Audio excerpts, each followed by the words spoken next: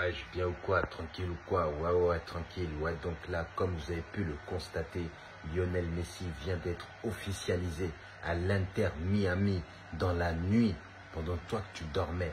Il y a des gens qui ont fait la nuit blanche uniquement pour voir Lionel Messi être officialisé à l'Inter Miami.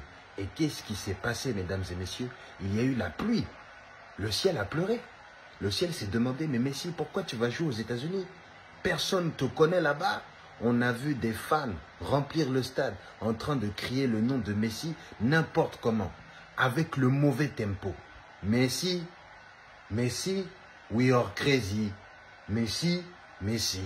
C'est pas comme ça. On dit Messi, Messi.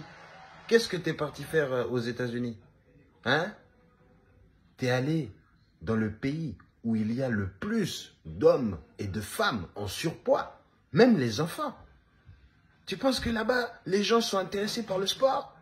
Si ce n'est le basket, le baseball, tu vas aller faire quoi là-bas? Ouais, ouais, là on a vu clairement, de manière officielle, que l'Inter Miami avait une base fan très faible, mais qui vient d'augmenter, car tous les Argentins se sont abonnés à ce club. Ils se sont tous désabonnés du Paris Saint-Germain. Tout le pays de l'Argentine, hein, ils viennent de, s'abonner euh, à, l'Inter Miami. Comme si l'Inter Miami était un club historique qui avait euh, euh, quelque chose à mettre sur la table. Alors que depuis que Messi a annoncé qu'il allait là-bas, ils n'ont pas arrêté de perdre. Et là, il vient faire son annonce, le ciel se met à pleurer. Ouais, ça a été retardé. Il a fait son discours sous la pluie, sous l'eau, tout mouillé. Et on a vu le dispositif incroyable qui a été euh, mis pour Lionel Messi. Vous n'avez pas vu? Lorsqu'il se déplace aux États-Unis, le mec ne s'arrête plus au feu rouge. Donc lui, il pense qu'il est sur un terrain de foot partout.